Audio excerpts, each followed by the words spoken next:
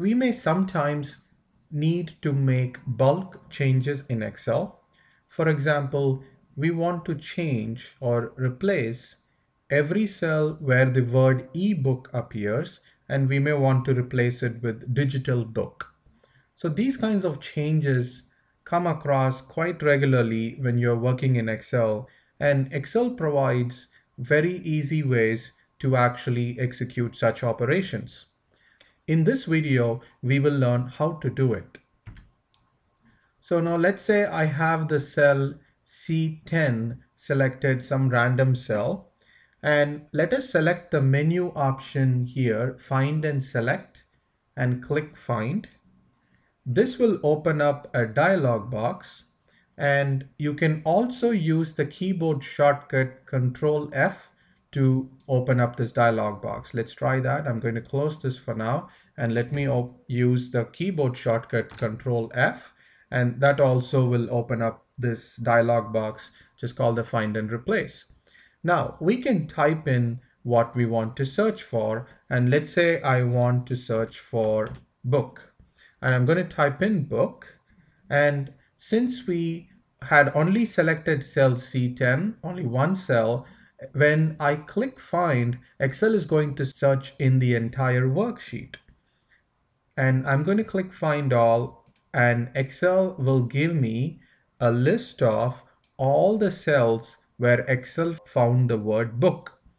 For example, in this workbook that we have now in sheet 1, which is our current sheet, in cell A1, it found the word book.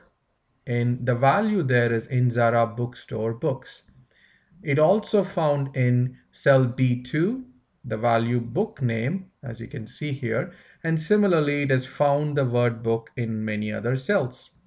And if I want to go to any specific cell, I can just click here directly and Excel will move me to cell D16 now and I can click here D13 and Excel will move to D13. So we clicked find all to list all these values but if we select find next, Excel will go one by one and it will go to the next available cell where this match for this keyword happened. Now, instead of the word BOOK in lowercase or small letters, let me type BOOK in uppercase or capital letters and let me click find all. And Excel is still saying I found in A1 Indzara bookstore, which is true because there is capital B-O-O-K, but it is also selecting B2 cell where it is actually not in uppercase. It's capital B O O K in small letters, but Excel is saying that is a match. And this is happening because Excel is not looking for case matches. So we can control that by using this options menu here. And as you click options, you see more options show up. And here, if I say match case and then say find all, Excel say is now saying I only found one match and that is in this cell A1.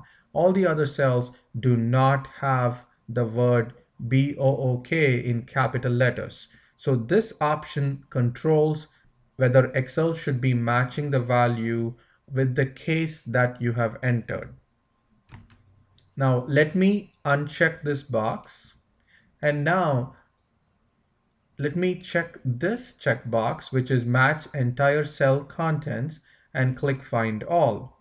Excel is now saying I cannot find the data that I'm searching for and that's because this option is telling Excel that only select the cells where the entire content is book. And you can see here, everywhere where we have the word book, it is actually part of the cell. It is not the entire content of a cell. So it always is Indzara bookstore or book name, or we have it as ebook but we never have it as just book in the entire cell and that's why Excel cannot find it. So this option allows you to search where it is looking for the entire content of the cell should be matching what you type here. Let me go back and uncheck this. Excel doesn't need to match the case and Excel doesn't need to match the entire cell contents. And now by default so far, Excel has been searching in the entire worksheet, but sometimes we have the need to only search within some specific cells. In that case, let's for example say I want only I want Excel to only search for the word book in the data set we have here. And now when I click find all, Excel is only going to look within the selection and Excel did not find A1 as a match because we did not select A1 before we clicked find all. So Excel ignored the cell A1. So you should be aware that you can control cells in which Excel should be searching for, and that can be very, very handy when you have a large data set. Another thing to keep in mind is that as soon as I perform the find all, or even if it's find next, Excel automatically loses the selection. Excel will now search in the entire worksheet. Let's try again. I'm going to click find all. And now Excel is saying I found something in cell A1. As soon as we performed one operation for find all or find next, it, or Excel will go back to searching the entire worksheet. Now let's see how we can use the replace option to replace the word book with something else. I'm going to click on replace and now you will see that now I have a, a, placeholder where I can type in what I want book to be replaced. So let's say I want to replace this with digital book and let me choose for example ebook e hyphen book, I want that to be replaced with digital space book.